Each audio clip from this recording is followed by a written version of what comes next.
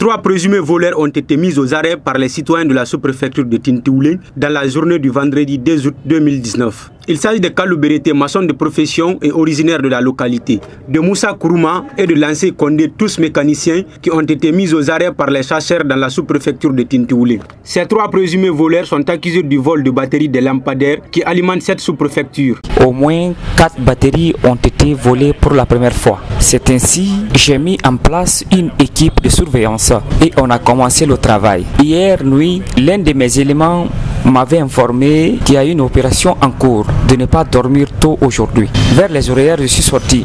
J'ai aperçu ces deux hommes-là. Je me suis caché dans la forêt. J'ai vu que l'autre là a commencé à enlever la batterie. Il a enlevé la première batterie, il l'a fait tomber à terre. C'est ainsi que je suis sorti et j'ai pointé mon fusil sur lui. L'autre a pris la fuite. Quand on a fini de ligoter le premier, j'ai crié au voleur, au voleur. C'est ainsi que le deuxième aussi a été arrêté.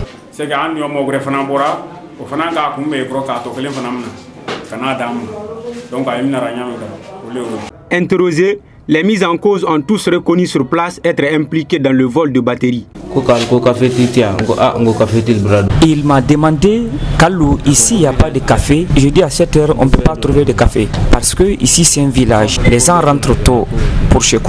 Après le show, il est sorti, il a enlevé la batterie. On a pris la batterie et on est reparti à Cancan. Le lendemain, il m'a trouvé dans mon lieu de travail. Il m'a remis 100 000 francs.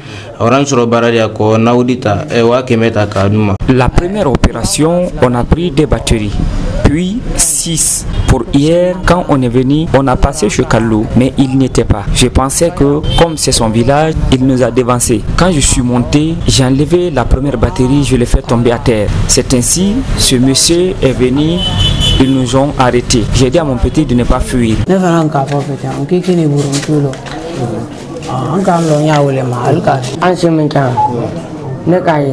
Quand on est venu, il a commencé à enlever la batterie. Moi, j'étais à côté de la moto, j'épuisais. C'est ainsi, j'ai entendu derrière moi, au voleur, au voleur.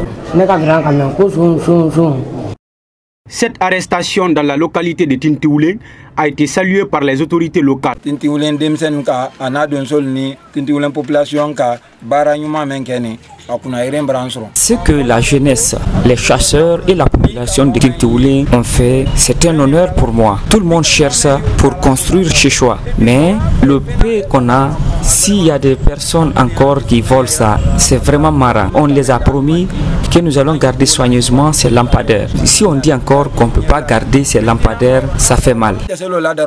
Vraiment, les présumés voleurs ont été mis à la disposition des services de sécurité pour des fins d'enquête. Aux dernières nouvelles, le nommé Kalou Berité, originaire de Tintioulen, a rendu l'âme.